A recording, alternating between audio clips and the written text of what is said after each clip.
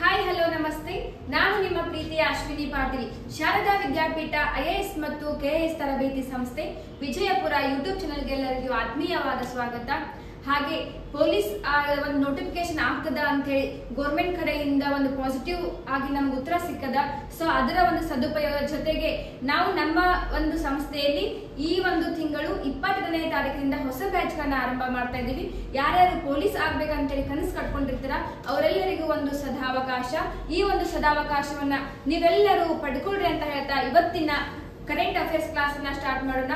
ಮೊದಲನೆಯ ಪ್ರಶ್ನೆ ಇತ್ತೀಚೆಗೆ ಸರ್ಕಾರಿ ದತ್ತಾಂಶದ ಪ್ರಕಾರ ಇತ್ತೀಚೆಗೆ ಸರ್ಕಾರಿ ದತ್ತಾಂಶದ ಪ್ರಕಾರ ಎರಡ್ ಸಾವಿರದ ಇಪ್ಪತ್ಮೂರು ಇಪ್ಪತ್ನಾಲ್ಕರಲ್ಲಿ ಭಾರತಕ್ಕೆ ಅತ್ಯಧಿಕ ಎಫ್ ಡಿ ಐ ಯಾವ ದೇಶದಿಂದ ಬಂದಿದೆ ಅಂತ ಕೇಳಿದ್ದಾರೆ. ಎಫ್ ಡಿ ಐ ಅಂತಂದ್ರೆ ಫಾರಿನ್ ಡೈರೆಕ್ಟ್ ಇನ್ವೆಸ್ಟ್ಮೆಂಟ್ ಅಂತ ಕರಿತೀವಿ. ಈ ಎಫ್ ಡಿ ಐ ಯಾವ ದೇಶದಿಂದ ಅತ್ಯಧಿಕವಾಗಿ ಬಂದಿದೆ ಅಂತ ಕೇಳಿದ್ದಾರೆ ಆಪ್ಷನ್ ಎ ಮಾರಿಷಸ್ ಅಂತ ಕೊಟ್ಟಿದ್ದಾರೆ option B Singapore option C Vietnam option D China ಅಂತ ಇದೆ. ಇಲ್ಲಿ ಸರಿಯಾದ ಉತ್ತರ ಯಾವ್ದಪ್ಪ ಅಂತಂದ್ರೆ ಆಪ್ಷನ್ ಬಿ ಸರಿಯಾದ ಉತ್ತರ, ಸಿಂಗಾಪುರ್ ಅಂತ ಹೇಳ್ತೀವಿ. ಇತ್ತೀಚೆಗೆ ಸರ್ಕಾರಿ ದತ್ತಾಂಶದ ಪ್ರಕಾರ ಎರಡ್ ಸಾವಿರದ ಇಪ್ಪತ್ತ್ ಮೂರು ಇಪ್ಪತ್ನಾಲ್ಕರಲ್ಲಿ ಭಾರತಕ್ಕೆ ಅತ್ಯಧಿಕ ಎಫ್ ಡಿ ಐ ಅನ್ನ ತಂದುಕೊಟ್ಟ ದೇಶ ಯಾವುದು ಅಂತಂದ್ರೆ, ಸಿಂಗಾಪುರ. ನೆಕ್ಸ್ಟ್ ಎರಡನೆಯ ಪ್ರಶ್ನೆ. ಇತ್ತೀಚೆಗೆ ನಿವೃತ್ತಿ ಘೋಷಿಸಿದ ದಿನೇಶ್ ಕಾರ್ತಿಕ್ ಯಾವ ಕ್ರೀಡೆಗೆ ಸೇರಿದವರು ಅಂತ ಕೇಳಿದ್ದಾರೆ. ದಿನೇಶ್ ಕಾರ್ತಿಕ್ ಅಂತಂದ್ರೆ ಎಲ್ಲರಿಗೂ ಗೊತ್ತಿರ್ತಕ್ಕಂಥದ್ದು. ಆಬ್ವಿಯಸ್ಲಿ ನಮ್ಗೆ ಅದ್ರಲ್ಲೂ ನಮ್ಮ ಹುಡುಗರು ಅಂತಂದ್ರೆ ಒಂದು ಕ್ರಿಕೆಟ್ ಅಂದ್ರೆ ಒಂದು ಜೋಶ್ ಜಾಸ್ತಿನೇ ಇರ್ತದ. ಅದ್ರಾಗೂ ಐ ಪಿ ಎಲ್ ಬಂದ ತಕ್ಷಣ ಅದರಲ್ಲೂ ಆರ್ ಸಿ ಬಿ ಅಂದ ತಕ್ಷಣ ಅದರ ಅಭಿಮಾನಿಗಳು ಕೂಡ ತುಂಬಾ ಜನ ಇದ್ದಾರ ಇಲ್ಲಿ ಇನ್ನೊಂದು ಏನಪ್ಪಾ ಅಂತಂದ್ರೆ ದಿನೇಶ್ ಕಾರ್ತಿಕ್ ಅವರು ಪ್ರಸ್ತುತ ಐ ಪಿ ಎಲ್ನಲ್ಲಿ ನಮ್ಮ ಆರ್ ಸಿ ಬಿ ತಂಡದ ಕೋಚ್ ಆಗಿ ಕಾರ್ಯನಿರ್ವಹಿಸ್ತಾ ಇದ್ದಾರ? ಸೊ ಇವ್ರು ಏನಪ್ಪ ಅಂತಂದ್ರೆ ಕ್ರಿಕೆಟರ್ ಅಂತ ಹೇಳ್ತೀವಿ. ಏನ್ ಇದ್ದಾರೆ ಇತ್ತೀಚೆಗೆ ನಿವೃತ್ತಿ ಘೋಷಿಸಿದ ದಿನೇಶ್ ಕಾರ್ತಿಕ್ ಯಾವ ಕ್ರೀಡೆಗೆ ಸೇರಿದವರು ಅಂತ ಕೇಳಿದ್ದಾರೆ. ಆಪ್ಷನ್ ಎ ಕ್ರಿಕೆಟ್ ಅಂತ ಕೊಟ್ಟಿದ್ದಾರೆ. ಆಪ್ಷನ್ ಬಿ ಫುಟ್ಬಾಲ್ ಅಂತ ಕೊಟ್ಟಿದ್ದಾರೆ. ಆಪ್ಷನ್ ಸಿ ಬಾಸ್ಕೆಟ್ ಬಾಲ್ ಅಂತ ಇದೆ. ಆಪ್ಷನ್ ಡಿ ಹಾಕಿ ಅಂತ ಇದೆ. ಇಲ್ಲಿ ಸರಿಯಾದ ಉತ್ತರ ಯಾವುದು ಅಂತಂದ್ರೆ ಆಪ್ಷನ್ ಎ ಸರಿಯಾದ ಉತ್ತರ ನಿವೃತ್ತಿ ಹೊಂದಿದ ನಿವೃತ್ತಿ ಘೋಷಿಸಿದ ದಿನೇಶ್ ಕಾರ್ತಿಕ್ ಅವರು ಅತಿ ಹೆಚ್ಚಿನ ಒಂದು ಕ್ರಿಕೆಟ್ ಆಟಗಾರರಾಗಿರ್ತಾರ. ಪ್ರಸ್ತುತವೂ ಕೂಡ ನಮ್ಮ ಆರ್ ಸಿ ಬಿ ಮ್ಯಾಚ್ನ ಕೋಚ್ ಆಗಿ ಕಾರ್ಯನಿರ್ವಹಿಸ್ತಾ ಇದ್ದಾರ. ನೀವು ಆರ್ ಸಿ ಬಿ ಅಂದ ತಕ್ಷಣ ನಮ್ಮ ಹುಡುಗರು ಅಲ್ಲಿ ಒಂದು ಜೋಶ್ ಬರ್ತದ. ಏನೋ ಕೆಲಸ ಇರ್ಲಿ, ಯಾವುದೇ ಎಕ್ಸಾಮ್ ಇರ್ಲಿ ಬಟ್ ಸೋಲಲಿ, ಗೆಲ್ಲಲಿ ಆರ್ ಸಿ ಬಿ ಅಂತಕ್ಕಂಥದ್ದು.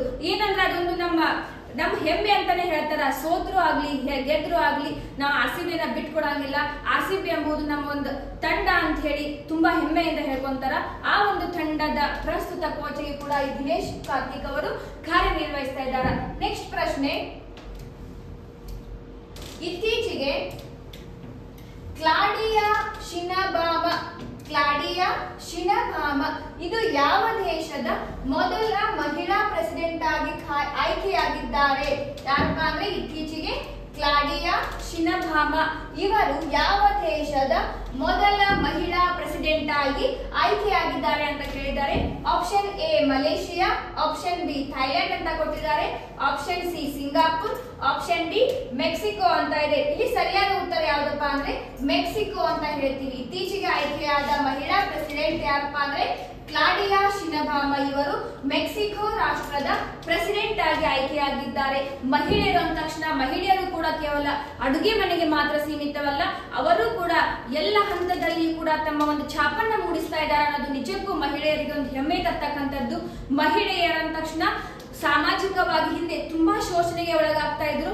ಆದ್ರೆ ಪ್ರಸ್ತುತ ಪರಿಸ್ಥಿತಿಯಲ್ಲಿ ರಾಜಕೀಯವಾಗಿಯೂ ಕೂಡ ಅವರು ಅತ್ಯುನ್ನತ ಸ್ಥಾನವನ್ನು ಅಲಂಕರಿಸ್ತಾ ಇದ್ದಾರ?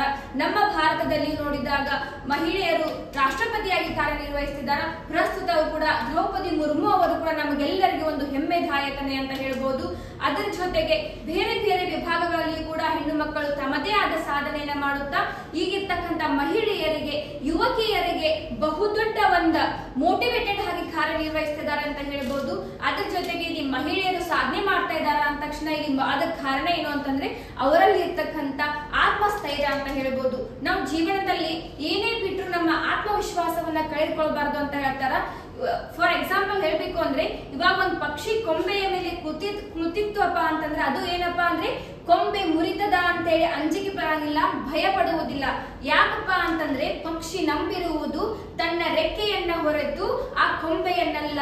ಸೊ ಅದೇ ರೀತಿ ನಾವು ಕೂಡ ನಮ್ಮ ಜೀವನದಲ್ಲಿ ನಾವು ನಮ್ಮ ಆತ್ಮವಿಶ್ವಾಸದ ಮೇಲೆ ನಂಬಿಕೆ ಇಡಬೇಕು, ಆತ್ಮವಿಶ್ವಾಸವನ್ನ ಹೆಚ್ಚು ಮಾಡ್ಕೋಬೇಕು ಅಂದಾಗ ಮಾತ್ರ ನಾವು ಕೂಡ ಯಶಸ್ಸನ್ನ ಕಾಣಲು ಸಾಧ್ಯ.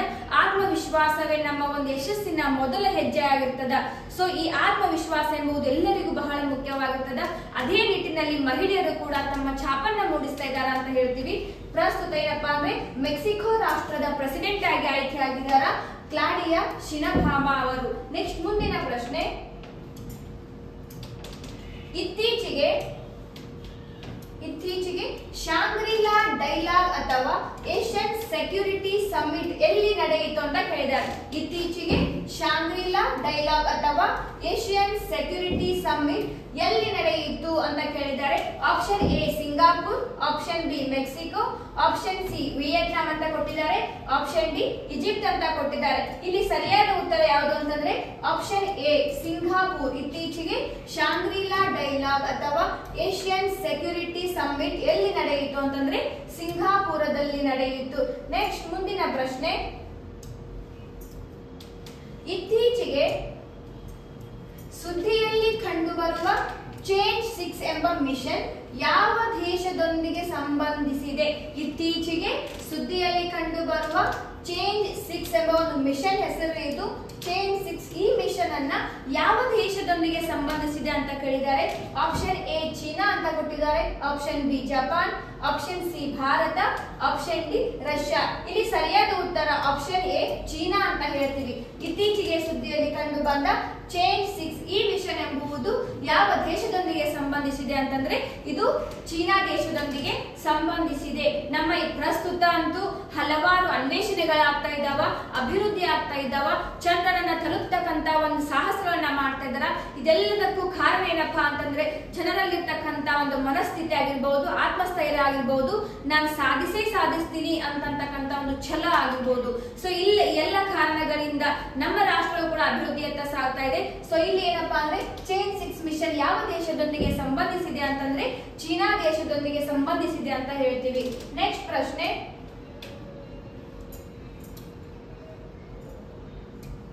ಇತ್ತೀಚೆಗೆ ಸುದ್ದಿಯಲ್ಲಿ ಕಂಡುಬರುವ ಹಂಗಾ ಟೋಂಗಾ ಹಂಗಾ ಟೋಂಗಾ, ಆಮೇಲೆ ಹಂಗಾ ಹಾಫೈ ಜ್ವಾಲಾಮುಖಿ ಅಂತ ಕರಿತೀವಿ. ಇದು ಯಾವ ಪ್ರದೇಶದಲ್ಲಿದೆ ಅಂತ ಕೇಳಿದ್ದಾರೆ ಇಲ್ಲಿ ಏನಪ್ಪ ಬರ ಅಂದ್ರೆ ಕರೆಂಟ್ ಅಫೇರ್ಸ್ ಅಂದ್ರೆ ಅದು ಇತ್ತೀಚೆಗೆ ಏನ ಯಾವ ಯಾವ ಏನಂದ್ರೆ ಅನ್ವೇಷಣೆಗಳು ಆಗಿರ್ತಾವ ಯಾವ ಯಾವ ಪ್ರವಾಹಗಳಾಗಿರ್ತಾವ, ಯಾವ ಯಾವ ಹೊಸ ಯೋಜನೆಗಳು ಜಾರಿಗೆ ಬಂದಿರ್ತಾವ, ಅವುಗಳಿಗೆ ನಾವು ಜಾಸ್ತಿ ಮಹತ್ವವನ್ನ ಕೊಡ್ಬೇಕಾಗ್ತದ. ಸೊ ಇಲ್ಲಿ ಏನ್ ಕೇಳಿದ್ದಾರೆ ಅಂತಂದ್ರೆ, ಇತ್ತೀಚೆಗೆ ಸುದ್ದಿಯಲ್ಲಿ ಕಂಡು ಬರುವ ಹಂಗ ಟೋಂಗ ಹಂಗಾ ಹಾಫೈ ಜ್ವಾಲಾಮುಖಿ ಯಾವ ಪ್ರದೇಶದಲ್ಲಿದೆ ಅಂತ ಕೇಳಿದ್ದಾರೆ. ಆಪ್ಷನ್ ಎ, ಉತ್ತರ ಅಟ್ಲಾಂಟಿಕ್ ಸಾಗರ ಆಪ್ಷನ್ ಬಿ, ಹಿಂದೂ ಮಹಾಸಾಗರ ಆಪ್ಷನ್ ಸಿ, ದಕ್ಷಿಣ ಪೆಸಿಫಿಕ್ ಸಾಗರ ಆಪ್ಷನ್ ಡಿ ದಕ್ಷಿಣ ಅಟ್ಲಾಂಟಿಕ್ ಸಾಗರ ಅಂತ ಹೇಳಿದ್ದಾರೆ. ಇಲ್ಲಿ ಸರಿಯಾದ ಉತ್ತರ ಯಾವ್ದಪ್ಪ ಅಂತಂದ್ರೆ ಆಪ್ಷನ್ ಸಿ ಸರಿಯಾದ ಉತ್ತರ ದಕ್ಷಿಣ ಪೆಸಿಫಿಕ್ ಸಾಗರ ಅಂತ ಕರಿತೀವಿ. ಈ ಒಂದು ಹಂಗ ಟೋಂಗ, ಹಂಗಾ ಹಾಫೈ ಜ್ವಾಲಾಮುಖಿ ಯಾವ ಪ್ರದೇಶದಲ್ಲಿದೆ ಅಂತಂದ್ರೆ ಅದು ಸರಿಯಾದ ಉತ್ತರ ದಕ್ಷಿಣ ಪೆಸಿಫಿಕ್ ಸಾಗರ ಅಂತ ಕರಿತೀವಿ. ನೆಕ್ಸ್ಟ್ ಮುಂದಿನ ಪ್ರಶ್ನೆ. ಇತ್ತೀಚೆಗೆ ಮಹಾರಾಷ್ಟ್ರದ ಯಾವ ಹುಲಿ ಸಂರಕ್ಷಿತ ಪ್ರದೇಶವು start bill, start bellied eagle ಔಜಲ್ನ ಮೊದಲ ಛಾಯಾಚಿತ್ರ ದಾಖಲೆಯನ್ನ ವರದಿ ಮಾಡಿದೆ ಅಂತ ಕೇಳಿದ್ದಾರೆ. ಏನಪ್ಪ ಈ ವರ್ಡ್ಸ್ಗಳು ಅಂತ ನಿಮಗೆ ಅನಿಸ್ತಿರ್ಬೋದು ಬಟ್ ನಾವು ರಾಷ್ಟ್ರೀಯವಾಗಿ, ಅಂತಾರಾಷ್ಟ್ರೀಯವಾಗಿ ನೋಡ್ಕೊಂತ ಹೋದಾಗ ಇದೇ ರೀತಿ ಬರ್ತಾವ. ಸೊ ಏನ್ ಕೇಳಿದಾರೆ ಅಂತಂದ್ರೆ ಮಹಾರಾಷ್ಟ್ರದ ಯಾವ ಹುಲಿ ಸಂರಕ್ಷಿತ ಪ್ರದೇಶವು ಇತ್ತೀಚೆಗೆ ಸ್ಟಾರ್ಟ್ ಬೆಲ್ಲಿಡ್ ಈಗಲ್ ಔರಲ್ನ ಮೊದಲ ಛಾಯಾಚಿತ್ರ ದಾಖಲೆಯನ್ನ ವರದಿ ಮಾಡಿದೆ ಅಂತ ಕೇಳಿದ್ದಾರೆ. ಅಂದ್ರೆ ಟೈಗರ್ ರಿಸರ್ವ್ ಇಲ್ಲಿ ಹುಲಿ ಸಂರಕ್ಷಿತ ಪ್ರದೇಶದ ಹೆಸರು ಗೊತ್ತಿರಬೇಕು. ಆಪ್ಷನ್ ಎ ತಡೋಬಾ ಹುಲಿ ಸಂರಕ್ಷಿತ ಪ್ರದೇಶ ಅಂತಿದೆ. Option B Pench tiger reserve option C Koyna ಹುಲಿ ಸಂರಕ್ಷಿತ ಪ್ರದೇಶ. ಆಪ್ಷನ್ ಡಿ ಉಮ್ರೇದ ಕರ್ಹಾಂಡ್ಲ ಅಭಯಾರಣ್ಯ ಅಂತ ಕೊಟ್ಟಿದ್ದಾರೆ. ಹಲವಾರು ಅಭಯಾರಣ್ಯಗಳಾಗಿರ್ಬೋದು, ಪಕ್ಷಿಧಾಮಗಳಾಗಿರ್ಬೋದು, ಹುಲಿ ಸಂರಕ್ಷಣಾ ತಾಣಗಳಾಗಿರ್ಬೋದು, ಪ್ರಸ್ತುತ ಇದಾವ.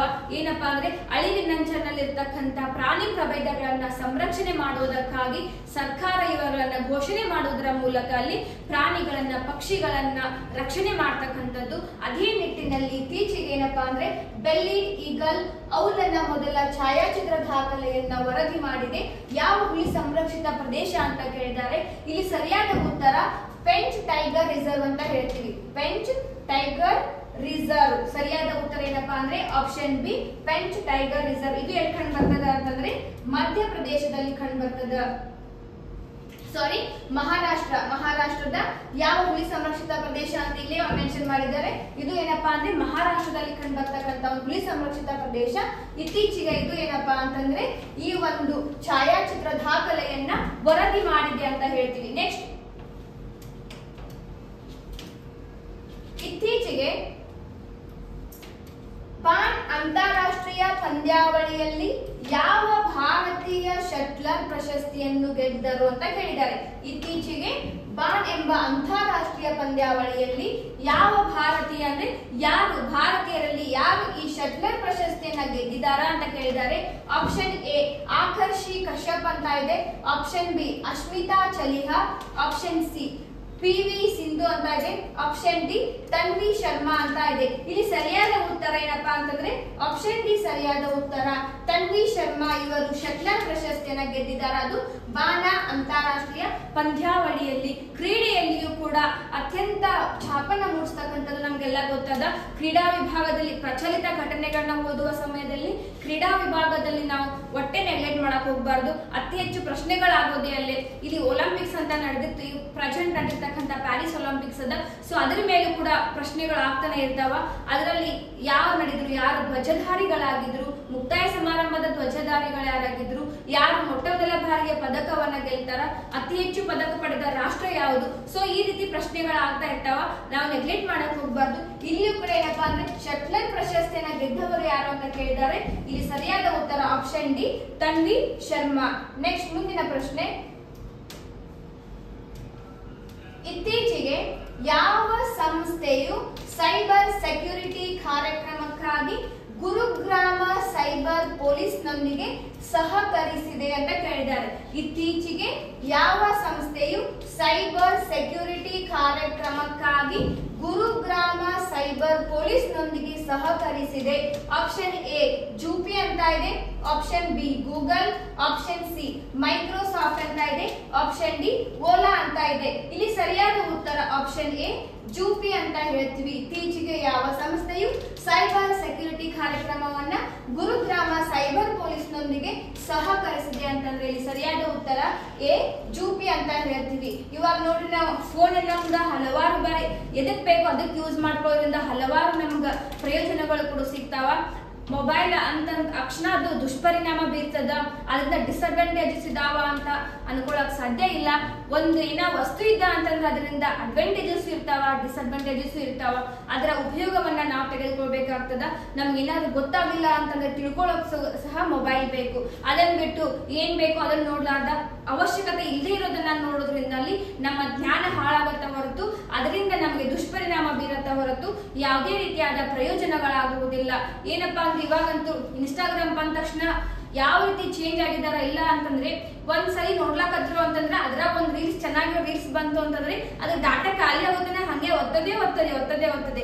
ಇದರಿಂದ ಏನಾಗ್ತದ? ಟೈಮ್ ಹಾಳಾಗ್ತದ? ಮೊದಲು ಏನಪ್ಪಾ ಅಂತಂದ್ರೆ ನಾವು ಸಮಯದ ಮಹತ್ವವನ್ನ ತಿಳ್ಕೊಳ್ಬೇಕಾಗ್ತದ ಇಲ್ಲಿ ಸಮಯ ಹಾಳಾಯ್ತಪ್ಪ ಅಂತಂದ್ರೆ ಮುಂದೆ ಸಮಯನೂ ಸಿಗಂಗಿಲ್ಲ. ಆ ಸಮಯ ಮುಂದೆ ನಾವು ಕಷ್ಟ, ಈಗೇನಾದ್ರೂ ಕಷ್ಟಪಟ್ಟು ಆ ಸಮಯವನ್ನ ಹಿಡಿದಿಟ್ಕೊಂಡು ನಾವು ಓದಿದ್ವಿ ಅಂತಂದ್ರೆ ನಮಗೇನಾದ್ರೂ ಒಂದು ಯಶಸ್ಸು ಸಿಗತ್ತ?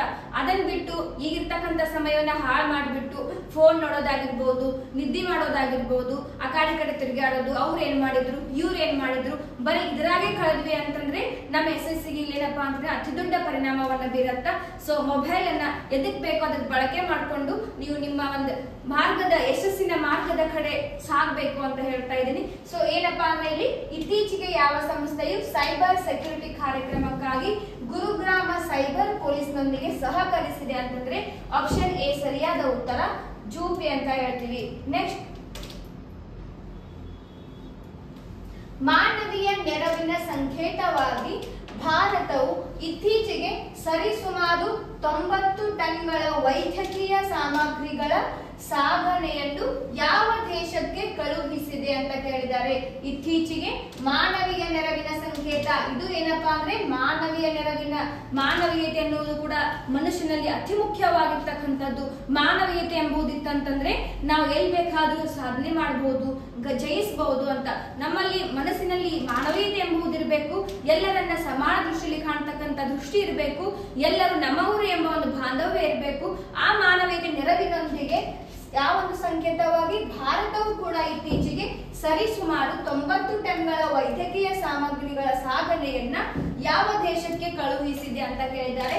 Option A Cuba option B Vietnam option C Singapore option D Mauritius ಅಂತ ಇದೆ. ಇಲ್ಲಿ ಸರಿಯಾದ ಉತ್ತರ ಯಾವ್ದಪ್ಪ ಅಂತಂದ್ರೆ ಆಪ್ಷನ್ ಎ ಕ್ಯೂಬಾ ಕ್ಯೂಬಾ ದೇಶಕ್ಕೆ ಕಳುಹಿಸಿದೆ. ಇತ್ತೀಚೆಗೆ ಮಾನವೀಯ ನೆರವಿನ ಸಂಕೇತವಾಗಿ ಭಾರತವು ತೊಂಬತ್ತು ಟನ್ಗಳ ವೈದ್ಯಕೀಯ ಸಾಮಗ್ರಿಗಳ ಸಾಗಣೆಯನ್ನ ಕ್ಯೂಬಾ ದೇಶಕ್ಕೆ ಕಳುಹಿಸಿದೆ. ನೆಕ್ಸ್ಟ್ ಇತ್ತೀಚೆಗೆ ಇತ್ತೀಚೆಗೆ ಯಾವ ದೇಶದಲ್ಲಿ ಮೊದಲ ಬಾರಿಗೆ ಪಿಗ್ ಲಿವರ್ ಅನ್ನು ಜೀವಂತ ಕ್ಯಾನ್ಸರ್ ಟ್ರಾನ್ಸ್ಪ್ಲಾಂಟ್ ಮಾಡಲಾಗಿದೆ ಅಂತ ಕೇಳಿದ್ದಾರೆ. ಇತ್ತೀಚೆಗೆ ಯಾವ ದೇಶದಲ್ಲಿ ಮೊದಲ ಬಾರಿಗೆ ಪಿಗ್ ಲಿವರ್ ಅನ್ನು ಜೀವಂತ ಕ್ಯಾನ್ಸರ್ ಟ್ರಾನ್ಸ್ಪ್ಲಾಂಟ್ ಅಂತ ಹೇಳಿ ಮಾಡಲಾಗಿದೆ ಅಂತ ಕೇಳಿದ್ದಾರೆ. ಆಪ್ಷನ್ ಎ ಚೀನಾ ಅಂತ ಇದೆ. Option B Singapore. Option C Bharat. Option D Bangladesh ಅಂತ ಇದೆ. ಇಲ್ಲಿ ಸರಿಯಾದ ಉತ್ತರ ಯಾವ್ದಪ್ಪ ಅಂತಂದ್ರೆ ಆಪ್ಷನ್ ಎ ಚೀನಾ ಅಂತ ಹೇಳ್ತೀವಿ. ತಂತ್ರಜ್ಞಾನಗಳಲ್ಲಿ ಅತಿ ಹೆಚ್ಚು ಮುಂದೆ ಹೋಗ್ತಕ್ಕಂತ ಒಂದು ರಾಷ್ಟ್ರ ಏನಾದ್ರೂ ಇತ್ತಂದ್ರೆ ಅದು ಚೀನಾ ಅಂತಾನೆ ಹೇಳ್ತೀವಿ. ಅವರು ಬ್ರೈನ್ಗಳು ಎಷ್ಟು ಶಾರ್ಪ್ ಇದಾವ ಅಂತಂದ್ರೆ ಏನಾದ್ರೂ ಕಣ್ಣು ಹಿಡಿಬೇಕು ಅಂತಂದ್ರೆ ಕಣ್ಣು ಹಿಡದೇ ತೋರಿಸ್ತಾರ. ಅಷ್ಟೊಂದು ತಂತ್ರಜ್ಞಾನ ತಂತ್ರಜ್ಞಾನದಲ್ಲಿ ಮುಂದುವರಿತಿರೋ ಒಂದು ರಾಷ್ಟ್ರ ಅಂತಾನೆ ಹೇಳ್ಬೋದು. ಇತ್ತೀಚೆಗೆ ಕೂಡ ಈ ಚೀನಾ ದೇಶದಲ್ಲಿ ಮೊದಲ ಬಾರಿಗೆ ಪಿಕ್ ಲಿವರ್ ಅನ್ನ ಜೀವಂತ ಕ್ಯಾನ್ಸರ್ ಟ್ರಾನ್ಸ್ಪ್ಲಾಂಟ್ ಮಾಡಲಾಗಿದೆ ಅಂತ ಹೇಳ್ತೀವಿ. ನೆಕ್ಸ್ಟ್ ಪ್ರಶ್ನೆ.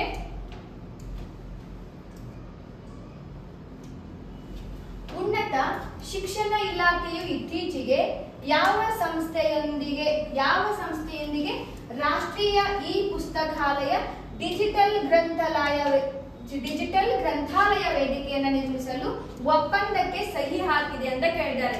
ಇತ್ತೀಚೆಗೆ ಉನ್ನತ ಶಿಕ್ಷಣ ಇಲಾಖೆಯು ಉನ್ನತ ಶಿಕ್ಷಣ ಇಲಾಖೆಯು ಯಾವ ಒಂದು ಸಂಸ್ಥೆಯೊಂದಿಗೆ ರಾಷ್ಟ್ರೀಯ ಇ ಪುಸ್ತಕಾಲಯ ಡಿಜಿಟಲ್ ಗ್ರಂಥಾಲಯ ವೇದಿಕೆಯನ್ನು ನಿರ್ಮಿಸಲು ಒಪ್ಪಂದಕ್ಕೆ ಸಹಿ ಹಾಕಿದೆ ಅಂತ ಕೇಳಿದ್ದಾರೆ. ಆಪ್ಷನ್ ಎ, ಕೇಂದ್ರೀಯ ಮಾಧ್ಯಮಿಕ ಶಿಕ್ಷಣ ಮಂಡಳಿ. Option B national book trust option C ರಾಷ್ಟ್ರೀಯ ಗ್ರಂಥಾಲಯ ಸಂಘ. ಆಪ್ಷನ್ ಡಿ ಸಂಸ್ಕೃತಿ ಸಚಿವಾಲಯ ಅಂತ ಕೊಟ್ಟಿದ್ದಾರೆ. ಇಲ್ಲಿ ಸರಿಯಾದ ಉತ್ತರ ಏನಪ್ಪಾ ಅಂತಂದ್ರೆ ಆಪ್ಷನ್ ಬಿ ಸರಿಯಾದ ಉತ್ತರ. ನ್ಯಾಷನಲ್ ಬುಕ್ ಟ್ರಸ್ಟ್ ಅಂತ ಹೇಳ್ತೀವಿ. ಏನಂದ್ರೆ ಇದು ಉನ್ನತ ಶಿಕ್ಷಣ ಇಲಾಖೆ ಇತ್ತೀಚೆಗೆ ಈ ಒಂದು ಯಾವ ಸಂಸ್ಥೆಯೊಂದಿಗೆ ಅಂತ ಕೇಳಿದಾರಲ್ಲ, ಅದು ನ್ಯಾಷನಲ್ ಬುಕ್ ಟ್ರಸ್ಟ್ ಅಂತ ಕರಿತೀವಿ. ಈ ನ್ಯಾಷನಲ್ ಬುಕ್ ಟ್ರಸ್ಟ್ ನೊಂದಿಗೆ ರಾಷ್ಟ್ರೀಯ ಇ ಪುಸ್ತಕಾಲಯ ಡಿಜಿಟಲ್ ಗ್ರಂಥಾಲಯ ವೇದಿಕೆಯನ್ನ ನಿರ್ಮಿಸಲು ಒಪ್ಪಂದಕ್ಕೆ ಸಹಿ ಹಾಕಿದೆ ಅಂತ ಹೇಳ್ತೀವಿ. ನೆಕ್ಸ್ಟ್ ಪ್ರಶ್ನೆ. ಇತ್ತೀಚೆಗೆ ಹಾಲ ಟೊಮೊಸ್ಟೋಡಿಕ್, ಹಾಲ ಟೋಮಾಸ್ಟೋಡಿಕ್ ಎಂಬುದು ಯಾವ ದೇಶದ ಪ್ರೆಸಿಡೆಂಟ್ ಆಗಿ ಆಯ್ಕೆಯಾಗಿದ್ದಾರೆ? ಹಾಲ ಟೋಮಾ ಸ್ಟೋಟಿನ್ ಅಂತ ಕರಿತೀವಿ. ಹೆಸರು ಇದು. ಇತ್ತೀಚೆಗೆ ಹಾಲ ಟೋಮೋಸ್ಟೋಟಿರ್ ಯಾವ ದೇಶದ ಪ್ರೆಸಿಡೆಂಟ್ ಆಗಿ ಆಯ್ಕೆಯಾಗಿದ್ದಾರೆ ಅಂತ ಕೇಳಿದ್ದಾರೆ option A Iceland option B Ireland option C Italy option D Greece ಅಂತ ಇದೆ. ಇಲ್ಲಿ ಸರಿಯಾದ ಉತ್ತರ ಯಾವ್ದಪ್ಪ ಅಂತಂದ್ರೆ ಆಪ್ಷನ್ ಎ ಸರಿಯಾದ ಉತ್ತರ ಐಸ್ಲ್ಯಾಂಡ್ ಅಂತ ಕರಿತೀವಿ. ಇತ್ತೀಚೆಗೆ ಹಾಲ ಟೊಮಾಸ್ಟೋಡಿಕ್ ಇವರು ಐಸ್ಲ್ಯಾಂಡ್ ದೇಶದ ಪ್ರೆಸಿಡೆಂಟ್ ಆಗಿ ಆಯ್ಕೆಯಾಗಿದ್ದಾರೆ. ನೆಕ್ಸ್ಟ್ ಬಿಎನ್ಎಚ್ಎಸ್ನ ವಲ್ಚರ್ ರೀ ಇಂಟ್ರೊಡಕ್ಷನ್ ಪ್ರೋಗ್ರಾಂ ಅಡಿಯಲ್ಲಿ ಮಹಾರಾಷ್ಟ್ರದ ತಡೋಬಾ ಮತ್ತು ಪೆಂಚ್ ಹುಲಿ ಅಭಯಾರಣ್ಯಗಳಿಗೆ ಎಷ್ಟು ಗಿಡಗಳನ್ನು ಅಥವಾ ವಲ್ಚರ್ಗಳನ್ನು ಮೃದುವಾಗಿ ಬಿಡುಗಡೆ ಮಾಡಲಾಯಿತು ಅಂತ ಕೇಳಿದ್ದಾರೆ ಯಾವ ರೀತಿ ಪ್ರಶ್ನೆಗಳಾಗ್ತಾವ ನೋಡ್ರಿ. ಎಷ್ಟು ಗಿಡ ಕೊಟ್ಟಿದಾರ, ಎಷ್ಟು ವಲ್ಚರ್ಗಳನ್ನ ಬಿಡುಗಡೆ ಮಾಡಿದಾರ ಅಂತ. ಏನಂದ್ರೆ ಬಿ ಎನ್ ಎಚ್ ಎಸ್ನ ವಲ್ಚರ್ ರಿ ಇಂಟ್ರೊಡಕ್ಷನ್ ಪ್ರೋಗ್ರಾಂ ಅಡಿಯಲ್ಲಿ ಮಹಾರಾಷ್ಟ್ರದ ತಡೋಬಾ ಮತ್ತು ಪೆಂಚ್ ಹುಲಿ ಅಭಯಾರಣ್ಯಗಳಿಗೆ ಎಷ್ಟು ಗಿಡಗಳನ್ನ ಅಥವಾ ವಲ್ಚರ್ಗಳನ್ನ ಮೃದುವಾಗಿ ಬಿಡುಗಡೆ ಮಾಡಲಾಯಿತು ಅಂತ ಕೇಳಿದ್ದಾರೆ. ಆಪ್ಷನ್ ಎ ಹದಿನೈದು ಆಪ್ಷನ್ ಬಿ ಇಪ್ಪತ್ತು ಆಪ್ಷನ್ ಸಿ ಇಪ್ಪತ್ತೈದು ಆಪ್ಷನ್ ಡಿ ಮೂವತ್ತು ಅಂತ ಕೊಟ್ಟಿದ್ದಾರೆ. ಇಲ್ಲಿ ಸರಿಯಾದ ಉತ್ತರ ಯಾವ್ದಪ್ಪ ಅಂತಂದ್ರೆ, ನಾವು ಯಾವ್ದು ಹೇಳ್ತೀವಿ ಅಂದ್ರೆ ಆಪ್ಷನ್ ಎ ಅಂತ ಹೇಳ್ತೀವಿ. ಸರಿಯಾದ ಉತ್ತರ? ಸಾರಿ ಆಪ್ಷನ್ ಬಿ ಇಪ್ಪತ್ತು ಗಿಡಗಳನ್ನ ಅಥವಾ ವಲ್ಚರ್ಗಳನ್ನ ಮೃದುವಾಗಿ ಬಿಡುಗಡೆ ಮಾಡಲಾಯಿತು. ಬಿ ಎನ್ ಎಚ್ ಎಸ್ನ ವಲ್ಚರ್ ಇಂಟ್ರೊಡಕ್ಷನ್ ಪ್ರೋಗ್ರಾಮ್ ಅಡಿಯಲ್ಲಿ ಮಹಾರಾಷ್ಟ್ರದ ಥಡೋಬಾ ಪೆಂಚ್ ಹುಲಿ ಅಭಯಾರಣ್ಯಗಳಿಗೆ ಎಷ್ಟು ಗಿಡಗಳನ್ನು ಅಂತಂದ್ರೆ ಇಪ್ಪತ್ತು ಗಿಡಗಳನ್ನ ಅಥವಾ ವಲ್ಚರ್ಗಳನ್ನ ಬಿಡುಗಡೆ ಮಾಡಲಾಯಿತು ಅಂತ ಹೇಳ್ತೀವಿ. ನೆಕ್ಸ್ಟ್ ಪ್ರಶ್ನೆ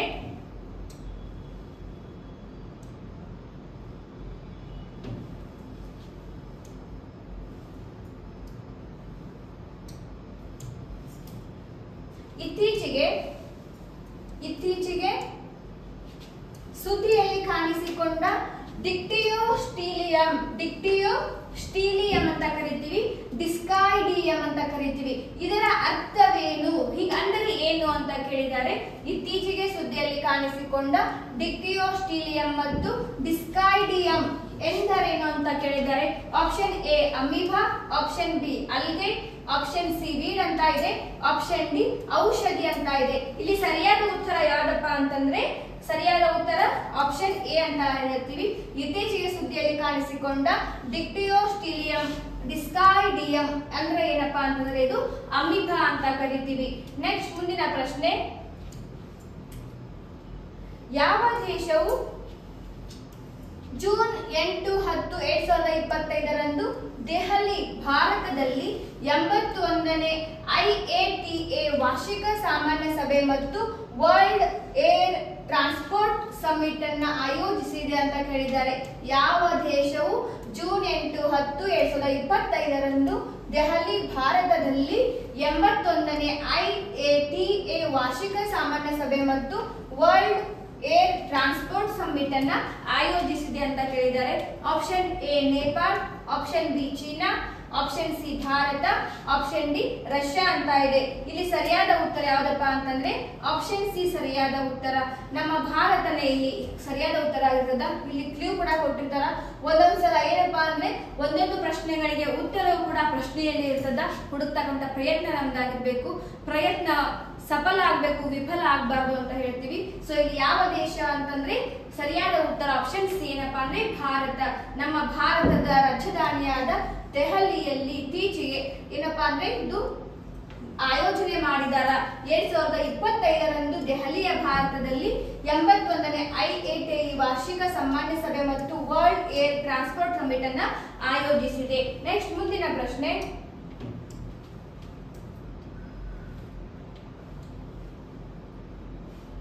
ಪ್ರತಿ ವರ್ಷ ಯಾವ ದಿನವನ್ನ ಅಕ್ರಮಣಕ್ಕೊಳಗಾದ ನಿರಪರಾಧಿ ಮಕ್ಕಳ ಅಂತಾರಾಷ್ಟ್ರೀಯ ದಿನವನ್ನ ಆಚರಿಸಲಾಗುತ್ತದೆ ಅಂತ ಕೇಳಿದ್ದಾರೆ. ಪ್ರತಿ ವರ್ಷ ಯಾವ ದಿನದಂದು ಅಕ್ರಮಣಕ್ಕೊಳಗಾದ ನಿರಪರಾಧಿ ಮಕ್ಕಳ ಆಕ್ರಮಣಕ್ಕೊಳಗಾದ ನಿರಪರಾಧಿಗಳಿರ್ತಾರಲ್ಲ ಆ ನಿರಪರಾಧಿ ಮಕ್ಕಳ ಅಂತಾರಾಷ್ಟ್ರೀಯ ದಿನ ಅಂತ ಹೇಳಿ ಆಚರಣೆ ಮಾಡ್ತಾರ. ಹಲವಾರು ದಿನಾಚರಣೆಗಳು ಬರ್ತಾವ. ಅದರಲ್ಲಿ ಕೂಡ ಇದು ಒಂದು ಏನಪ್ಪಾ ನಿರಪರಾಧಿ ಮಕ್ಕಳ ಅಂತಾರಾಷ್ಟ್ರೀಯ ದಿನ ಆಚರಿಸಲಾಗುತ್ತದೆ. ಅದನ್ನ ಯಾವ ದಿನದಂದು ಆಚರಣೆ ಮಾಡಲಾಗತ್ತ ಅಂತ ಕೇಳಿದ್ದಾರೆ. ಆಪ್ಷನ್ ಎ ಜೂನ್ ಮೂರು ಅಂತ ಕೊಟ್ಟಿದ್ದಾರೆ. ಆಪ್ಷನ್ ಬಿ ಜೂನ್ ನಾಲ್ಕು ಅಂತ ಇದೆ. ಆಪ್ಷನ್ ಸಿ ಜೂನ್ ಐದು ಇದೆ. ಆಪ್ಷನ್ ಡಿ ಜೂನ್ ಆರು ಅಂತ ಇದೆ. ಇಲ್ಲಿ ಸರಿಯಾದ ಉತ್ತರ ಯಾವುದು ಅಂತಂದ್ರೆ ಆಪ್ಷನ್ ಬಿ ಜೂನ್ ನಾಲ್ಕು ಅಂತ ಕರಿತೀವಿ. ಜೂನ್ ನಾಲ್ಕನೆಯ ತಾರೀಕು ಆಕ್ರಮಣಕ್ಕೊಳಗಾದ ನಿರಪರಾಧಿ ಮಕ್ಕಳ ಅಂತಾರಾಷ್ಟ್ರೀಯ ದಿನವನ್ನಾಗಿ ಆಚರಿಸಲಾಗುತ್ತದೆ. ಜೂನ್ ಐದಂತೂ ಗೊತ್ತೇ ಅದ. ನೀವೇ ಕಮೆಂಟ್ ಮಾಡೋದ್ರ ಮೂಲಕ ಅದರ ಉತ್ತರವನ್ನ ತಿಳಿಸ್ಬೇಕು ಅಂತ ಹೇಳ್ತೀನಿ. ನೆಕ್ಸ್ಟ್ ಮುಂದಿನ ಪ್ರಶ್ನೆ. ಇತ್ತೀಚೆಗೆ ಸುದ್ದಿಯಲ್ಲಿ ಕಂಡು ಬಂದ ಹೈಡ್ರಾಕ್ಸಿ ಯೂರಿಯಾ ಹೈಡ್ರಾಕ್ಸಿ ಯೂರಿಯಾ ಔಷಧವು ಯಾವ ರೋಗಕ್ಕೆ ಸಂಬಂಧಿಸಿದೆ ಅಂತ ಕೇಳಿದ್ದಾರೆ ಇತ್ತೀಚೆಗೆ ಸುದ್ದಿಯಲ್ಲಿ ಕಂಡು ಬಂದ ಹೈಡ್ರಾಕ್ಸಿ ಯೂರಿಯಾ ಹೈಡ್ರಾಕ್ಸಿ ಯೂರಿಯಾ ಔಷಧವು ಯಾವ ಒಂದು ರೋಗಕ್ಕೆ ಸಂಬಂಧಿಸಿದೆ ಅಂತ ಕೇಳಿದ್ದಾರೆ ಇದು ಏನಪ್ಪಾ ಅಂತಂದ್ರೆ ಅದು ಔಷಧದ ಹೆಸರು. ಈ ಔಷಧವು ಯಾವ ರೋಗಕ್ಕೆ ಸಂಬಂಧಿಸಿದೆ ಅಂತ ಕೇಳಿದ್ದಾರೆ option A dengue, option B TB option C malaria, option D sickle cell anaemia ಅಂತ ಕೊಟ್ಟಿದ್ದಾರೆ. ಇಲ್ಲಿ ಸರಿಯಾದ ಉತ್ತರ ಯಾವುದು ಅಂತಂದ್ರೆ ಆಪ್ಷನ್ ಡಿ ಸರಿಯಾದ ಉತ್ತರ. ಸಿಕಲ್ ಸೆಲ್ ಅನಿಮಿಯಾ ರೋಗಕ್ಕೆ ಸಂಬಂಧಿಸಿದ ಔಷಧವು ಈ ಒಂದು ಹೈಡ್ರಾಕ್ಸಿ ಯೂರಿಯಾ ಆಗಿದೆ. ಈ ಇತ್ತೀಚೆಗೆ ಕೆಲವೊಂದು ಔಷಧಗಳನ್ನ ಬ್ಯಾನ್ ಮಾಡೋದ್ರ ಮೂಲಕ ಸರ್ಕಾರವು ಒಂದು ರಕ್ಷಣೆಯನ್ನ ತೆಗೆದುಕೊಳ್ತಾ ಇದೆ. ಇವಾಗ ಯಾರೇ ಆಗಲಿ ಅದರಲ್ಲಿ ಜಾಸ್ತಿ ಹಳ್ಳಿಯಲ್ಲಿ ಬಂದ ತಕ್ಷಣ ಏನೋ ತಲೆನೋವಾಯಿತು, ಹೊಟ್ಟೆ ನೋವಾಯ್ತು, ಜ್ವರ ಬಂದು ಅಂತೇಳಿ ಬರೀ ಮೆಡಿಸಿನ್ಸ್ಗಳು ತಗೋದು, ಆಮೇಲೆ ಪೇನ್ ಕಿಲ್ಲರ್ ಟ್ಯಾಬ್ಲೆಟ್ ತಗೋದು ಈ ರೀತಿ ಮಾಡ್ತಾ ಇದ್ರು. ಬಟ್ ಇತ್ತೀಚೆಗೆ ಏನಪ್ಪಾ ಅಂತಂದ್ರೆ ಕೆಲವೊಂದು ಮನುಷ್ಯನ ಮೇಲೆ ದುಷ್ಪರಿಣಾಮ ಬೀರ್ತಕ್ಕಂತ ಔಷಧಗಳನ್ನ ಬ್ಯಾನ್ ಮಾಡೋದ್ರ ಮೂಲಕ ಸರ್ಕಾರ ಒಂದು ರಕ್ಷಣೆಯಲ್ಲಿಯೂ ಕೂಡ ಮೊದಲ ಅಂದ್ರೆ ರಕ್ಷಣೆಯಲ್ಲಿಯೂ ಕೂಡ ತನ್ನ ಒಂದು ಯಶಸ್ಸನ್ನ ಕಾಣ್ತಾ ಇದೆ ಅಂತ ಹೇಳ್ಬೋದು. ಸೊ ನೆಕ್ಸ್ಟ್ ಪ್ರಶ್ನೆ. ಇತ್ತೀಚೆಗೆ ಸುದ್ದಿಯಲ್ಲಿ ಕಂಡು ಬಂದ ರೂವಾಹ ರೂವಾಹ ರಾಷ್ಟ್ರೀಯ ಉದ್ಯಾನವನವು ಯಾವ ದೇಶದಲ್ಲಿದೆ ಅಂತ ಕೇಳ್ತಾರ ಏನಪ್ಪಾ ಅಂದ್ರೆ ಹಲವಾರು ರಾಷ್ಟ್ರೀಯ ಉದ್ಯಾನವನಗಳು ಕೂಡ ಕಂಡು ಬರ್ತಾವ. ಅದರಲ್ಲಿ ರೂವಾಹ ಎಂಬ ರಾಷ್ಟ್ರೀಯ ಉದ್ಯಾನವನವು ಯಾವ ದೇಶದಲ್ಲಿದೆ ಅಂತ ಕೇಳಿದ್ದಾರೆ. Option A Tanzania option B Kenya option C Rwanda option D Nigeria ಅಂತ ಇದೆ. ಇಲ್ಲಿ ಸರಿಯಾದ ಉತ್ತರ ಯಾವುದು ಅಂತಂದ್ರೆ ತಾಂಜನಿಯಾ ಅಂತ ಕರಿತೀವಿ. ಒಂದು ಕಡೆ ತಾಂಜನಿಯಾ ಅಂತಾನು ಕರೀತಾರ. ಇಲ್ಲಿ ಸರಿಯಾದ ಉತ್ತರ ಏನಂದ್ರೆ ರೂವಾಹ ಎಂಬ ರಾಷ್ಟ್ರೀಯ ಉದ್ಯಾನವನವು ಯಾವ ಒಂದು ದೇಶದಲ್ಲಿ ಕಂಡು ಬರ್ತದ ಅಂತಂದ್ರೆ ತಾಂಜನಿಯಾ ದೇಶದಲ್ಲಿ ಕಂಡು ಬರ್ತದ. ನೆಕ್ಸ್ಟ್ ಮುಂದಿನ ಪ್ರಶ್ನೆ.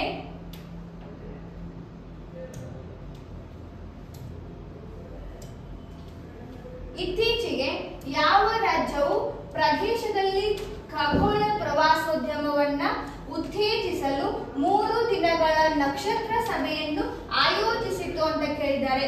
ಆಪ್ಷನ್ ಎ ಹಿಮಾಚಲ ಪ್ರದೇಶ ಅಂತ ಕೊಟ್ಟಿದ್ದಾರೆ. ಆಪ್ಷನ್ ಬಿ ಹರಿಯಾಣ ಅಂತ ಕೊಟ್ಟಿದ್ದಾರೆ. ಆಪ್ಷನ್ ಸಿ ಉತ್ತರಾಖಂಡ ಅಂತ ಕೊಟ್ಟಿದ್ದಾರೆ. ಆಪ್ಷನ್ ಡಿ ಮಧ್ಯಪ್ರದೇಶ ಅಂತ ಕೊಟ್ಟಿದ್ದಾರೆ. ಇದರ ಉತ್ತರವನ್ನ ನೀವೇ ಹುಡುಕುವ ಪ್ರಯತ್ನ ಮಾಡ್ರಿ ಅಂತ ಹೇಳಕ್ ಇಷ್ಟಪಡ್ತೀನಿ. ಕೊನೆಯ ಪ್ರಶ್ನೆ, ನಾವು ಪ್ರಯತ್ನ ಮಾಡುವುದರಿಂದ ಏನೂ ಕಳೆದುಕೊಳ್ಳಂಗಿಲ್ಲ ಹೊರತು ಜಾಸ್ತಿನೇ ಪಡ್ಕೊಂತೀವಿ ಅಂತ ಹೇಳ್ಬೋದು. ಪ್ರಯತ್ನ ಎಂಬುದು ಮನುಷ್ಯನ ಯಶಸ್ಸಿಗೆ ಅತಿ ಮುಖ್ಯವಾದದ್ದು. ಏನಪ್ಪಾ ಅಂದ್ರೆ ನಾನು ಪ್ರಯತ್ನನೇ ಮಾಡಿದ್ರೆ ನನಗೆ ಫಲ ಬೇಕು ಅಂದ್ರೆ ಯಾವತ್ತೂ ದೊರೆಯಂಗಿಲ್ಲ. ನಾವು ಪ್ರಯತ್ನ ಮಾಡಿಬಿಟ್ಟು ನಾವು ಫಲ ಫಲವನ್ನ ಬೇಕು ಅಂತ ಕೇಳಿದಾಗ ಅವಶ್ಯವಾಗಿ ನಮಗೆ ಫಲ ದೊರೆಯುವುದು ಆ ಒಂದು ಪ್ರಯತ್ನ ನಿಮ್ಮದಾಗಿರಲಿ ಈ ಒಂದು ಪ್ರಶ್ನೆಗೆ ಸರಿಯಾದ ಉತ್ತರವನ್ನ ನೀವು ಹುಡುಕುವ ಪ್ರಯತ್ನ ಮಾಡಿ ಹಾಗೆ ಕಮೆಂಟ್ ಮಾಡುವ ಮೂಲಕ ತಿಳಿಸಿ. ಎಲ್ಲರೂ ಅಂದ್ರೆ ಜಾಗೃತವಾಗಬೇಕಿವಾಗ ಸದ್ಯ ಎಕ್ಸಾಮ್ಸ್ ಬರ್ತಾ ಇದ್ದಾವ. ಎಕ್ಸಾಮ್ ವಿಲೇಜ್ ಅಕೌಂಟೆಂಟ್ ಎಕ್ಸಾಮ್ ಅಂತೂ ತುಂಬಾ ಹತ್ತಿರದಲ್ಲಿಯೇ ಇದೆ.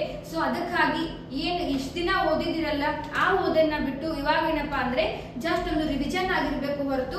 ಈಗ ಎಕ್ಸಾಮ್ ಅದ ನಾಳೆ ಅದ ಇವತ್ತದ ಅಂತ ಹೋದಾಗ ಇಲ್ಲಿ ಡಿಗ್ರಿ ಎಕ್ಸಾಮ್ ಗಳನ್ನ ಬರಿತಾ ಇಲ್ಲ. ನಾವು ಬರಿತಾ ಇರೋದು ಸ್ಪರ್ಧಾತ್ಮಕ ಜಗತ್ತಿನಲ್ಲಿ. ಅದು ಏನಪ್ಪಾ ಅಂದ್ರೆ ಗೌರ್ಮೆಂಟ್ ಜಾಬ್ ಸಲುವಾಗಿ ಹಲವಾರು ಜನ ಇಲ್ಲಿ ಸ್ಪರ್ಧಾರ್ಥಿಗಳು ಇರ್ತಾರ ಅಷ್ಟೊಂದು ಕಾಂಪಿಟೇಷನ್ ಇರ್ತದ, ಆ ಒಂದು ಸ್ಪರ್ಧೆಯ ಒಂದು ಮಧ್ಯದಲ್ಲಿ ನಾವು ಗೆಲ್ಲಬೇಕು ಅಂತಂದ್ರೆ ನಮ್ಮ ಪ್ರಯತ್ನ ಎಂದ್ರು ನಿರಂತರವಾಗಿರಬೇಕು. ಆ ಪ್ರಯತ್ನ ನಿರಂತರವಾಗಿತ್ತು ಅಂತಂದ್ರೆ ನಿಮ್ಮ ಯಶಸ್ಸು ನಿಮಗೆ ಖಂಡಿತ ಸಿಗ್ತದ. ಈ ಒಂದು ದಸರಾ ಉತ್ಸವದ ಜೊತೆಗೆ ಮುಂದೆ ದೀಪಾವಳಿ ಬರ್ತದ.